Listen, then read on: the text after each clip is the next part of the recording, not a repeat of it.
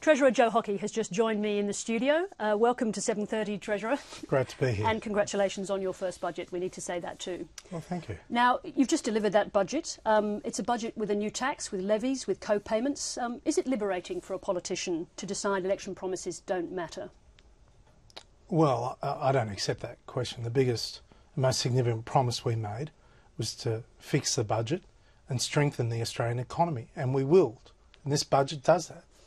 But you, you, say significant promise. What does that mean about all the other promises, particularly the Prime Minister made? Were they insignificant, frivolous, not to be taken no, seriously? No, they're all, all, serious and they're all being implemented. Except that many of them have been broken. Um, well, that's your assertion. You are wrong.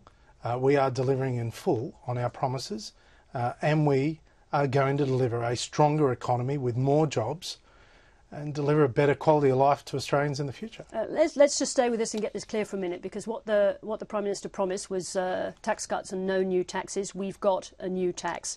That's a broken promise. Well, you talk about honesty. You say it's the most important currency in politics. Isn't it time for you to have respect for the voters, acknowledge what's happened, so we can genuinely move on? Uh, well, uh, you can play those sort of games. It's not a game, but, sir. Well, you can you, you, whatever you want to assert. The bottom line is as we show in the documents, as a result of what we've done since being elected, taxes are lower under the coalition than they would have been under Labor. You, you accept that? I accept that. Does right, that okay, so that's the promise that we said we'd deliver lower taxes. We're getting rid of the carbon tax, we're getting rid of the mining tax, we're delivering tax cuts without a carbon tax. Uh, in addition to all of that, we are trying to fix the budget. Now, we can stand back and watch the house burn down or we can actually do things that ensure that our country has a, a, sustainable and affordable quality of life. And a number of initiatives in the budget focus on what we are going to do to improve our quality of life into the future. Just going forward, we'll come to those initiatives in just one moment. But um, are you saying that individual promises made by an opposition leader no longer matter? Well, we can spend the whole conversation talking about it's really, the process that's a, that's a yes promises, or no question. talking about the process of promises. I want to talk about the jobs we're creating. I want to talk about the infrastructure. I want to talk about what we're doing to build a stronger nation. All right, let's talk about some of the strongest themes in the budget because you've been talking about this being um, pain that was going to be equally shared. So I want to ask you this. No, I didn't use the term pain that is equally shared. I said pain that is shared. I think it is important that everyone do their fair share. All right, well, let's talk about fairness. How do you explain to a working to working families now facing higher fuel prices that mining companies, wealthy mining companies, get to keep their $2 billion um, diesel excise while ordinary motorists are going to pay almost the same amount in higher fuel prices. Well, the diesel excise is a business input cost and it's always been excluded uh, from the tax system because they don't use roads. But do you Obviously, think... when you're operating a mine, you don't use roads. So therefore, the tax you put on the diesel for the mine is not going towards road building. Whereas consumers, we pay a tax as part of our petrol uh, and we use the roads and we get the benefit. And now what we're doing is attaching the inflation increase on the excise to our road building project to make sure it's sustainable.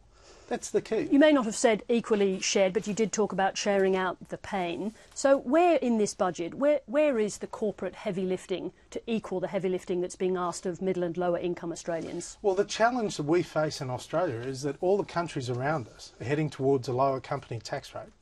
Now, we're only able to lower the company tax rate for 800,000 businesses. For larger businesses, we can't.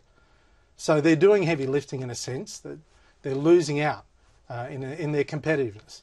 Plus, we have a very high wage structure in Australia. So they're doing the heavy lifting. Uh, also, we're taking away over $800 million of industry subsidies. That's a start. That's out of a total of how much? 10 billion? Uh, no, it isn't 10 billion because we're getting rid of a number of tariffs that is actually costing the budget money.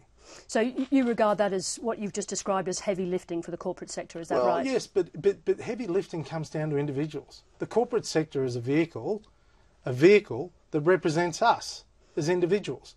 We work for the corporate sector if we're employed by a company. So therefore, we all have to contribute. And as individuals, at the end of the day, it comes down to individual taxpayers. Well, let's talk about permanence then, because you've, you, you have introduced a levy for high income earners, but it's a temporary levy. And yet the changes to the family payments are permanent. Why not make the deficit levy for high income earners a permanent tax? Well, they already pay a considerable amount of tax, and the highest rate is considerably high. It is relatively high. everyone has to make a small contribution in one form or another. But also, a tax on income goes to their primary source of income. In relation to family supplements, it's in addition to household income. So a supplement is a family payment is a supplement to the primary income of the household.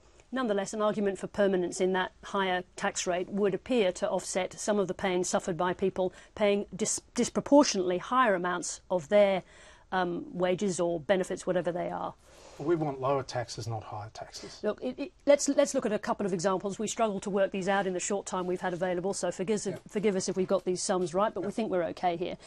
If you earn two hundred and fifty thousand dollars and you're being you're paying the um, the deficit, the high income deficit, you're going to pay about fourteen hundred dollars, as we understand it. If you're twenty four and unemployed, you're going to lose nearly two thousand five hundred dollars in a year. Now, in that equation, who's doing heavy lifting? Well, the heavy lifting is always done by the taxpayer uh, and money received by an individual from the government is someone else's taxes. So what we want is for that unemployed person to get a job. And the best chance of them getting a job is someone else is earning taxes, in creating business, making profit. If you do that, then they've got a chance of getting a job. Now, in, in the lead up to this budget, we had the Commission of Audit asking for much uh, much stronger changes, in fact, to particularly to pensions and family welfare. Um, you've made a you've made a start, an important start, as you would have it, by reducing the family tax benefit B down to 100,000. But if you listen to the Commission of Audit, it's nowhere near enough. Is the age of entitlement still alive in Australia? Well, there is an age of entitlement, but it, it is over because we want to replace it with an age of opportunity. And the best thing you can do for someone uh, is help them to get away from a reliance on welfare and get into work if they have the capacity. And for those most vulnerable in the community, we have to ensure that the safety nets are sustainable and give them a fair go. Now, the bigger the safety net, the less you can do for those most vulnerable. But you understand that, for, for example, that young man on his unemployment benefits or a young mother who's 24 years old, the proportion of what she's going to take home, she's going to struggle to understand why somebody, a wealthy Australian, is going to take a, frankly, a minuscule hit to their income. Well, I don't, I don't accept that. I don't accept that because the money is a supplement for that lady. It's a supplement. So she's just going to have to understand that economic argument. Well, uh, it's a supplement. She has a primary income elsewhere. All right, let's talk about the Medicare co-payment mm. because that uh, included a significant surprise today, which is the creation of a large fund for medical research.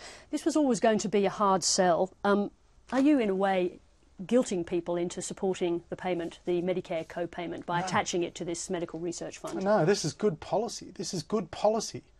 If we invest in research now, and we're damn good at it in Australia, if we invest in medical research now, we might find the cures for dementia or Alzheimer's or something like that. We have that capacity. We've got the innovation. We've got the brain power. That's probably an but argument. we just got to put money it. for it. That's probably an argument for doing it anyway.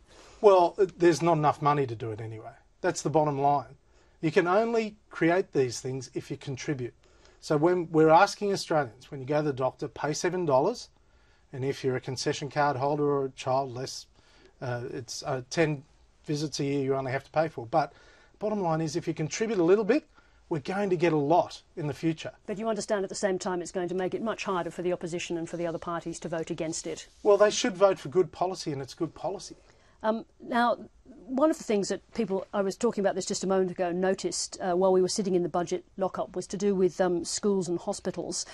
Uh, as I understand it, that money to uh, the states for schools and hospitals is going to be cut by $80 billion over 10 years. Are you starving the states so that they beg you, effectively, to raise the GST? Well, that's up to them. They are responsible for schools and hospitals. We don't run any schools.